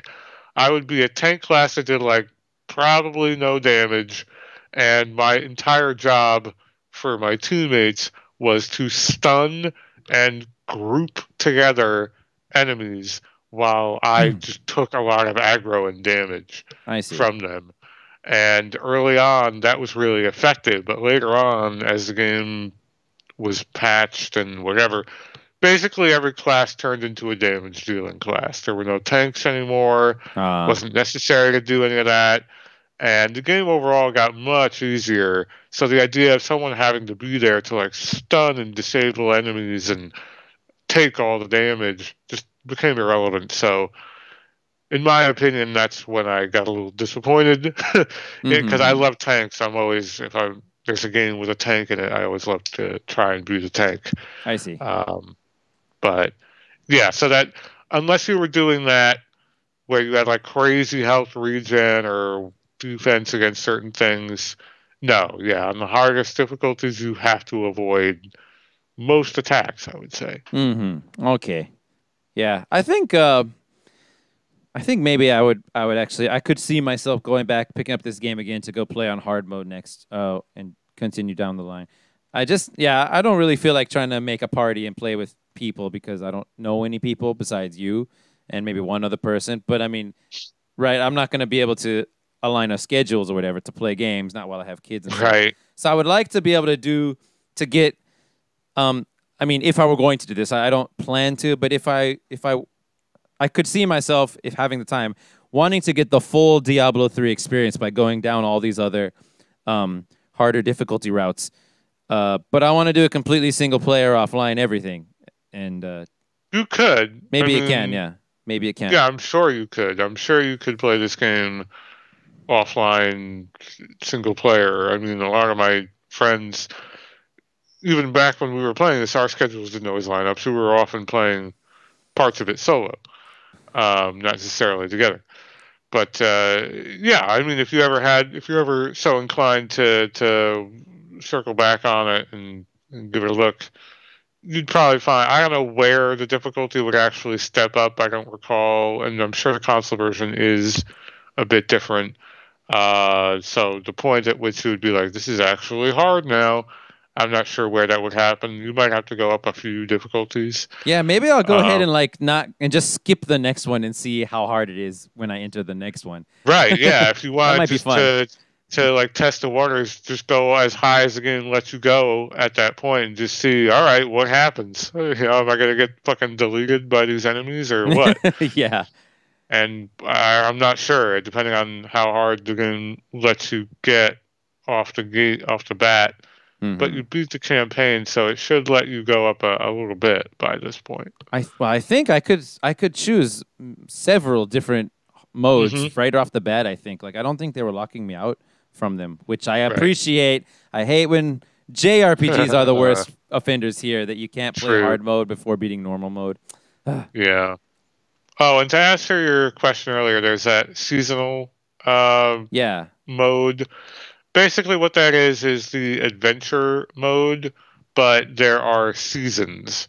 So what that is is between uh, I think they last a, a month or two, or just one month probably. So uh, for the span of a month or so, uh, there will be special content of some sort that you can get by doing everything in that season whether it's uh, special legendary with special stats, special looking armor, uh, profile banner. Usually they're on the cosmetic side of things and not significant gameplay wise. But Mhm. the idea is that they're they're there to get you back on that treadmill of like loot grind when you've already grinded out all the best loot. I see. Like they're really ultra end game. Like you really are looking for a reason, an excuse to play the game. you know. Yeah. Um, I think the main thing that's preventing me from going back to this game, although I think I will just check out like a couple difficulties down from where I am, just because I'm curious. But I think the main thing that's preventing me from uh, going ahead and playing through a whole nother difficulty uh, mode is that you know, despite the fact this is one of those, uh, it's it's a grind game, which is like right up my alley. Despite that, Mhm. I like Dragon's Crown a lot more than Diablo three. Um, because it's kind of the same thing, but it's just it's a beat 'em up and it's got the aesthetic that I like. I love the crazy art style and all that. Sure. And uh, yeah, I don't know. I'm really, really into Dragon's Crown. And just in case you're interested, what that game does at the end, that the way that game does is it has normal mode, and the balance of normal mode in that game, it's not like super easy like this one is right at the beginning. Um, but the way they've set it up is that you're gonna get a lot of benefit from leveling up, and the max level in normal mode is 35. And you're going to get a lot of benefit from getting up to level 35 and getting you don't, and you don't have to worry about like S rank treasure or anything like that. Just get some pretty good treasure for your level, and uh, Mm. You you'll be a lot more powerful and a lot more difficult to kill. But you still, but in the beginning, before you can get to the to that, you're gonna have to try learn to avoid some attacks at the beginning. Um, otherwise, the going is going to be very slow, and but that's fine because you could just take it as the going the going is slow, and you slowly get the grind up. But then you go into hard mode, and the amount that you can feel safe from level ups and equipment goes down quite a bit, and then you go into hard mode where the max level is 99. And it's like you just gotta play good now, yo. I mean, you're gonna also want the levels and the equipment, but you gotta just avoid stuff, yo Um, Mm-hmm. because it's a beat 'em up game now. It's a beat 'em up game now with just a little bit of extra assistance from equipment and levels. And then after you beat hard mode, you unlock a ni- no, an infinite. I believe it's infinite. Like I don't think anybody's gotten to the end of it. Um, an infinite tower of uh, randomly randomly generated stages. I think I read on a game FAQ somewhere that the farthest anyone ever has ever gotten was like five thousand or fifty thousand or something. I can't remember, but thousands, thousands. So Wow. yeah, crazy. So yeah, I'm really into Dragon's Crown, and I'm trying to get good with the sorceress now. I'm I'm pretty good with the elf already, so I, so I want to try being better with the sorceress, and she's way harder to be good with for me. I don't know what it is. hmm. Anyway, I recommend it. But anyway, getting I'm ne- I'm near the end of my list here. Um, a positive: very few interruptions throughout the game. You can move during many of the scenes. Oh yeah. Thank God for that, man. Um, the Act Three FMV is epic. Positive. Yes, it is. People have lots of optional dialogue. Positive. Although during the second half of the game, I didn't. I chose not to read it. I think it's cool that they put it there, and it, that they put it optional, and even that they put a sign that this person has uh, optional dialogue, so you can notice it too. Like all Mm-hmm. those things are just solid design choices. Um, Azmodan is a crab mon- crab monster. I think that's cool Yes, it is. the war going on outside the castle when you're like when there's like a war going on outside the castle looks cool uh equipment names are awesome i wish i could remember some of them now but yeah a lot of the equipment had really cool names Yeah, it's usually like uh, Bludgeoner of the Owl, or like Yeah. I don't know. there were yeah. all kinds of cool names i wish i could yeah i don't know why i can't remember any now but uh oh i think i had a crossbow called demon machine or something Oh, if it's like legendary, they do have special names that aren't like uh, random generator names that are really cool. Yeah. Yeah. Um, equipment names are awesome. You can play audio files across loading screens. That blew my mind. Mm. And uh, the, the only time that there's like a deficiency in like performance from the game, like loading and stuff, the only time. I, it's it's like the only other minus besides the easy, normal mode being too easy is the ending credits. Like it's so weird, dude. Freaking Huh. when you get to like the special thanks section where it's just like a million names in one area, it's like the the names are scrolling up, and then there's like a there's like it looks like it's the last name, but then like more names just like pop up, like there's pop in, not with environment assets when you're walking, but with names as they're scrolling by. What? Huh. That's so weird. Too many credits. Too many credits. The game can't handle it. And that's all oh my Oh my freaking God. notes on freaking Diablo 3. That's a funny last one. I don't recall. I'm not sure I've ever sat through the credits Um, all the way. in my case, uh, I was looking for a name because I know a person who works at Blizzard. I don't remember if he was there during Diablo 3 days or not, but he might have been, so I was looking for it. But there were so many names and I got tired and I never found it, so either I missed would, it. Uh, I would imagine that some capacity this person must have been because Diablo 3 entered development in like 2001. Okay, yeah, then Whether Well, was when did it come out? not, when did it come out? Like 2011? 2011. Oh, that's right. It came out like the same year as Dragon's Crown. That's right. I forgot about that.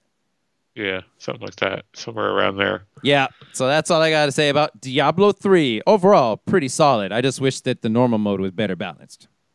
Yeah, it should have been. It sounds like uh, they probably played it too safe. Like it sounds to me when doing that is like an attempt to accommodate really novice players. Yeah, I guess so.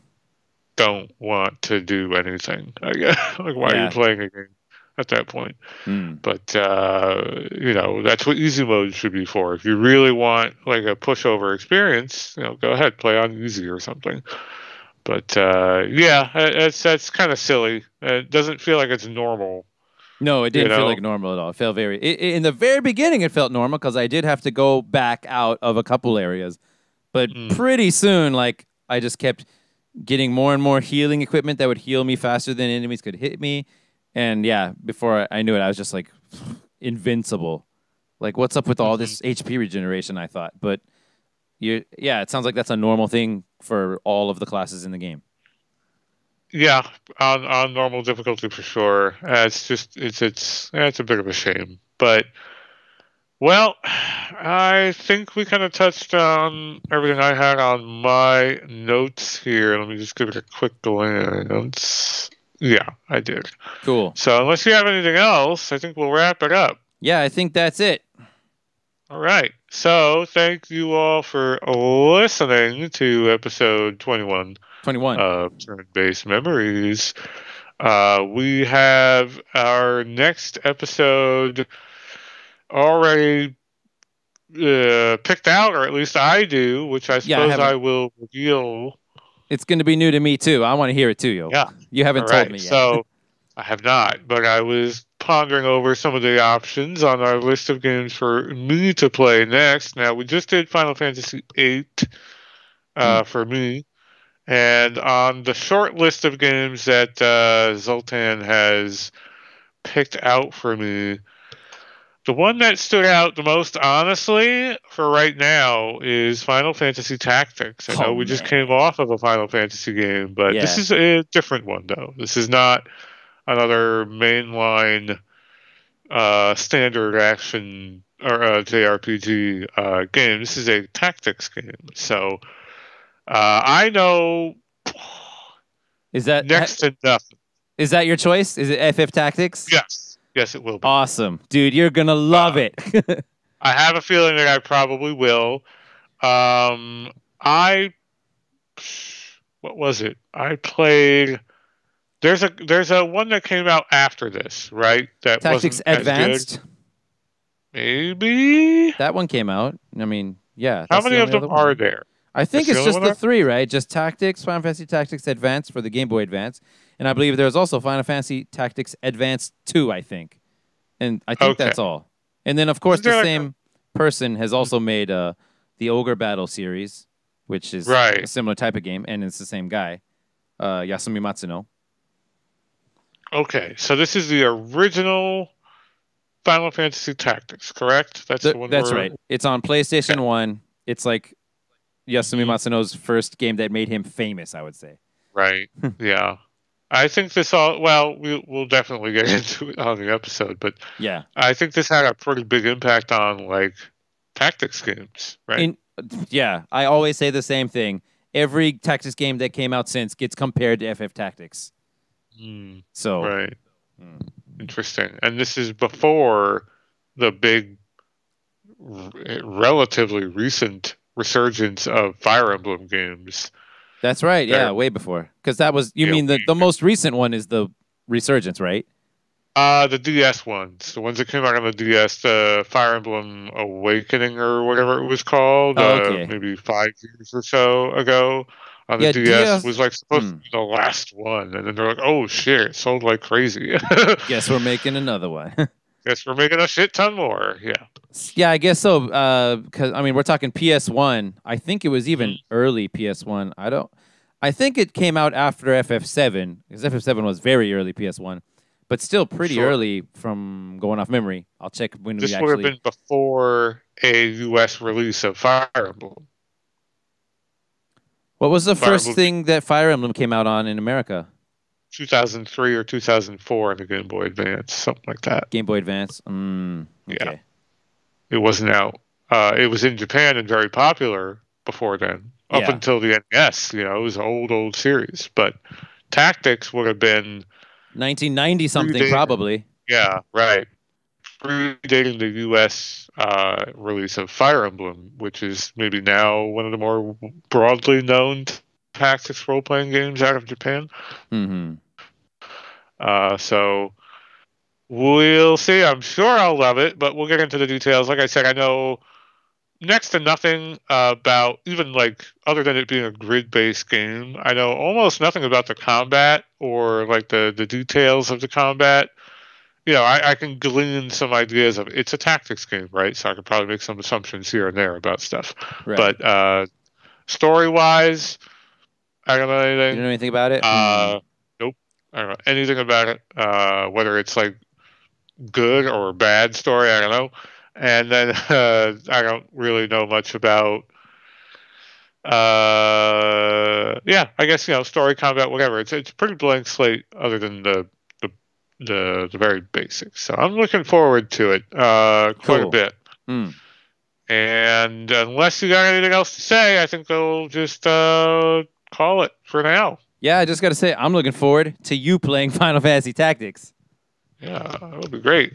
So yeah, uh, we'll also be reevaluating the last uh, episode. We did a multi-part format, That's right. not this episode, but the previous episode, because it was a longer game and we were doing that format.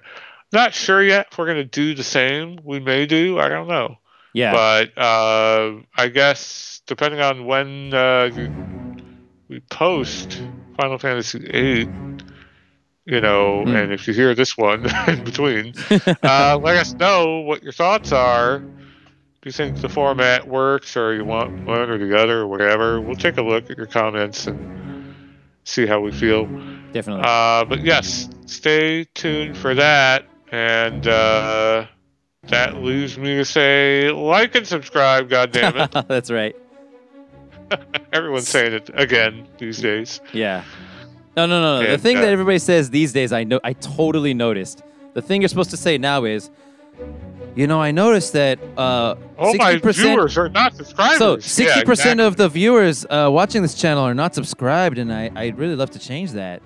yeah, here's here's this animation of a finger clicking on the subscribe button. yeah, in case you didn't know how to do it. I don't know what memo. Yeah, I don't know what memo every YouTuber got where they all said they have to do this. Somebody like finds mean, out these not- things, yeah, and when somebody figures out, everyone's like, okay, that's what we got to do for the algorithm. It's so it's bizarre. It's like a Hmm. script. It's- it everyone's is a script, Like, where yeah. is this coming?